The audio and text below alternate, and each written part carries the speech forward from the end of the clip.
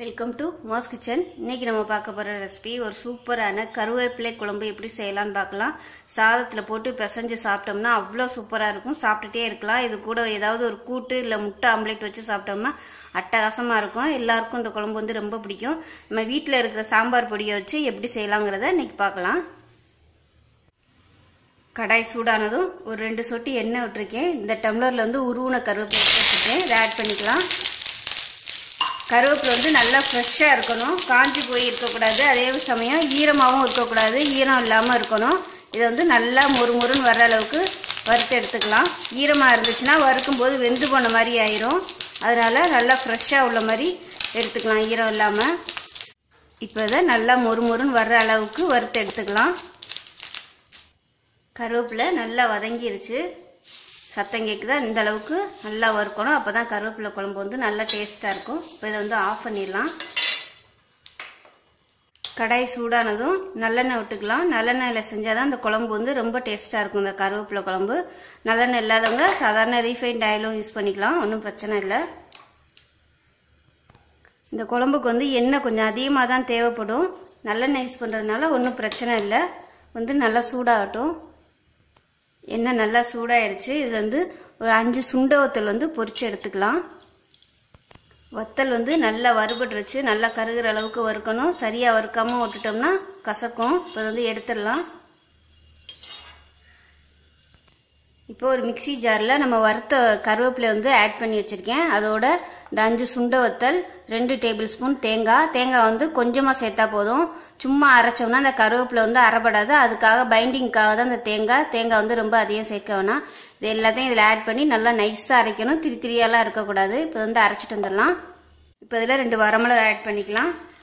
கொஞ்சமாக கடுகு ஆட் பண்ணிக்கலாம். கொஞ்சமாக ஜீரகம் ஆட் பண்ணிக்கலாம். இப்போ இது எல்லாமே நல்லா பொரிஞ்சிருச்சு. பொடியாக நறுக்குன சின்ன வெங்காயம் பொடியாக நறுக்குன பூண்டு ஆட் பண்ணிக்கலாம்.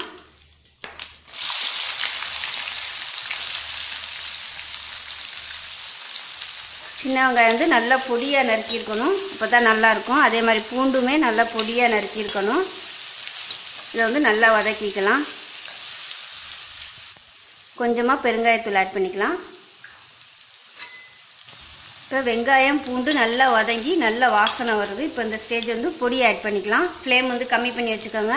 ரெண்டு டேபிள் ஸ்பூன் குழம்புத்தூள் ரெண்டு டேபிள் ஸ்பூன் மிளகாய்த்தூள் நான் மிளகாய்த்தூள் வந்து சேர்க்காம தான் குழம்புத்தூள் அரைச்சி வச்சுருக்கேன். அதனால் நான் தனியாக யூஸ் பண்ணியிருக்கேன்.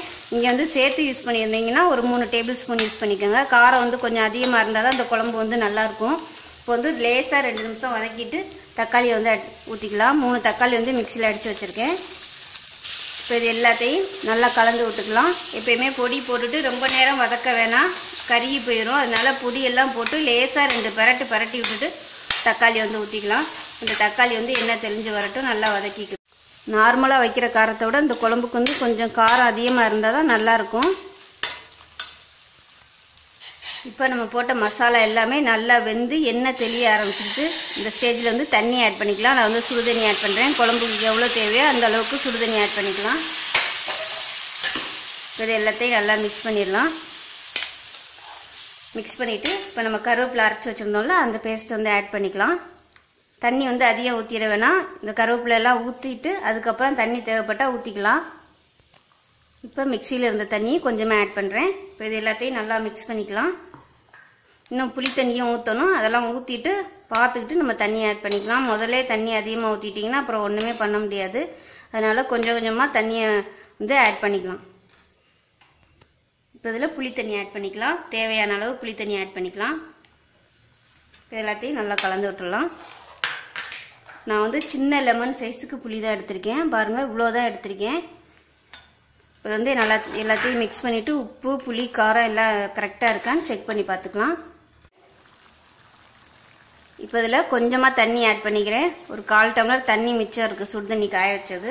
அதை வந்து இப்போ ஆட் பண்ணுறேன் உப்பு புளி காரம்லாம் கரெக்டாக இருக்குது இந்த குழம்புக்கு நார்மலாக ஊற்றுறத விட கொஞ்சம் புளிப்பு வந்து அதிகமாக இருந்துச்சுன்னா சுருக்குன்னு இருந்துச்சுன்னா நல்லாயிருக்கும் அந்த புளிப்பு காரத்தோட ரொம்ப சூப்பராக இருக்கும்.